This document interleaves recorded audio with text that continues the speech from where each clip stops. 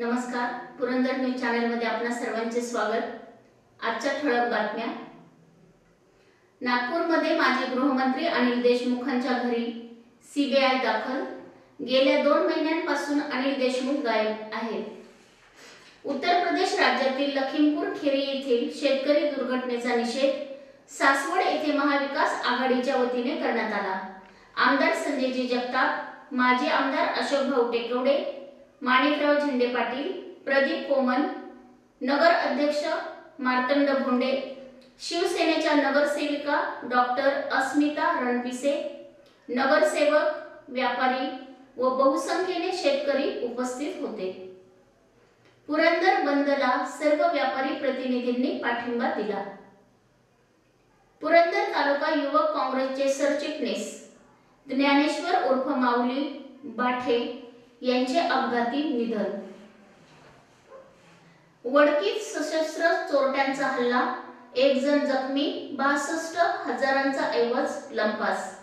घरात घुसून पत्नीच्या गळ्यातील व कानातील सोने काढून घेतले. सुभाष मोडक यांनी विरोध केला असता त्यांच्यावर कोयत्याने वार करण्यात आले. व काठीने मारहाण करण्यात आली. तसेच सिद्धिविनायक लाईट्स वडकी व त्या शेजारील महावीर जनरल स्टोर्सचेही लॉक तोडून रोकड व साहित्याची चोरी करण्यात आली. लोणी काळभोर पोलीस स्टेशनचे दिगंबर बिडवे अधिक तपास करीत आहेत.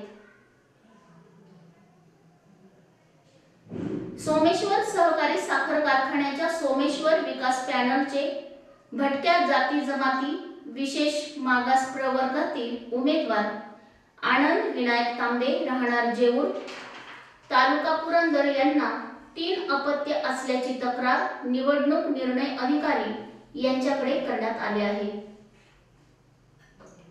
कोळशाच्या संकटामुळे महावितरणाला वीज पुरवठा करणारे वीज केंद्राचे एकूण तेरा युनिट रविवारी बंद झाले.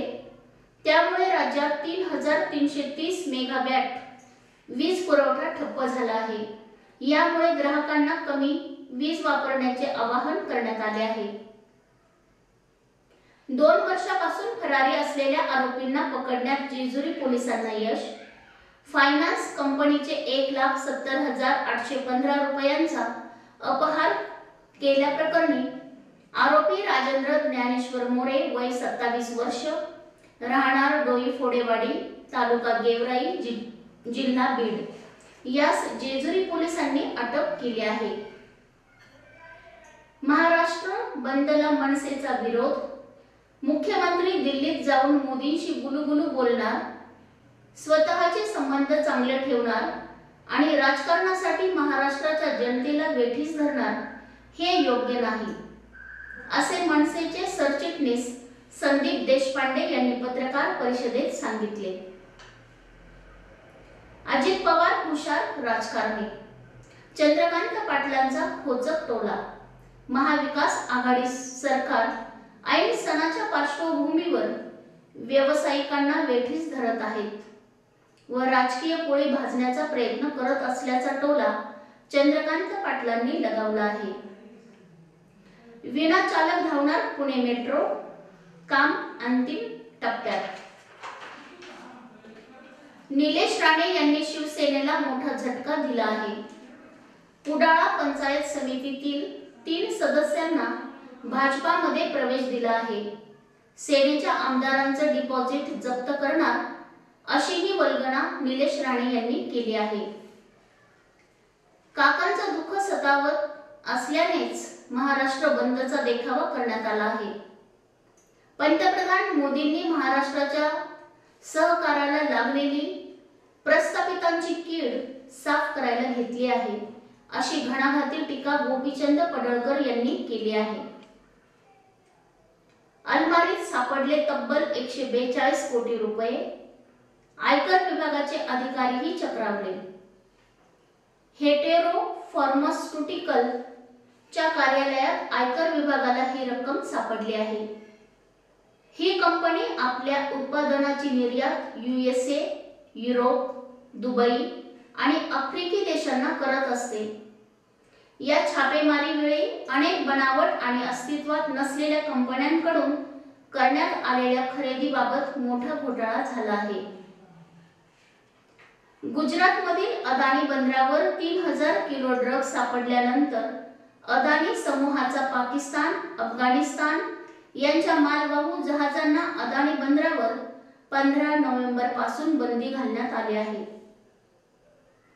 ज्या मंडळींनी मावळमध्ये पाणी मागणाऱ्या शेतकऱ्यावर गोळीबार केला अशा लोकांना आंदोलन करायची नैतिकता तरी आहे का? आजचा बंद हा ढोंगीपणाचा कळस आहे अशी टीका भाजपा नेते देवेंद्र फडणवीस यांनी केली आहे. छत्रपती उदयनराजे भोसले यांनी घेतले आज करवीर निवासिनी देवीचे दर्शन.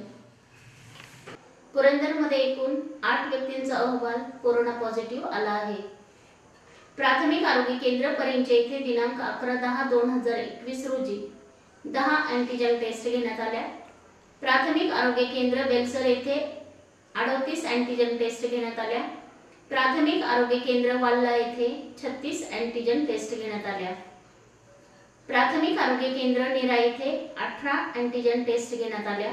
त्या सर्व व्यक्तींचे अहवाल कोरोना निगेटिव्ह आले आहेत. प्राथमिक आरोग्य केंद्र माळशिरस येथे चोवीस अँटीजन टेस्ट घेण्यात आल्या. त्यापैकी टेकवडी येथील एका व्यक्तीचा अहवाल कोरोना पॉझिटिव्ह आला आहे. ग्रामीण रुग्णालय सासवड येथे दिनांक अकरा दहा दोन हजार एकवीस रोजी एकावन्न अँटीजन टेस्ट घेण्यात आल्या. त्यापैकी चार व्यक्तींचे अहवाल कोरोना पॉझिटिव्ह आले आहेत.